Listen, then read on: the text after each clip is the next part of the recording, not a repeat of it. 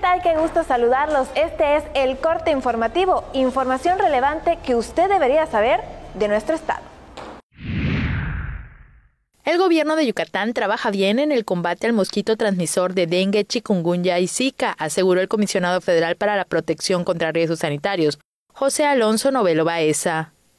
Va bien Yucatán, va bien, todavía sigue siendo eh, sensibles a los insecticidas que se están utilizando, todos los vectores que están en ese ámbito lastimando chikungunya, zika, dengue y la fiebre amarilla, que es una amenaza, pero hasta ahorita afortunadamente no es una realidad.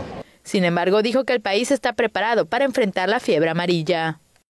Y afortunadamente los vectores que transmiten la fiebre amarilla están dentro de la sensibilidad de los insecticidas que la península está utilizando. Desmintió que exista desabasto de medicamentos en las instituciones públicas del país.